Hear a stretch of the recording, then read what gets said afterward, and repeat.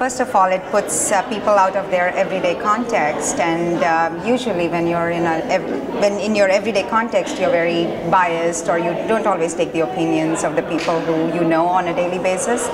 Conferences like this, you're meeting new people, you have an open mind, you're really receptive to learn the walks of other people's lives, and I think uh, that's really very enriching. I think women by nature tend to be very uh, nurturing and that helps them to be more empathetic and uh, capable of organizing, getting multiple things done, which is multitasking, which is much needed in the business world. So the combination and balance between having empathy and being able to organize and speak with the pers right perspective, I think always empowers uh, women to do uh, things much more efficiently and with the uh, right leadership traits.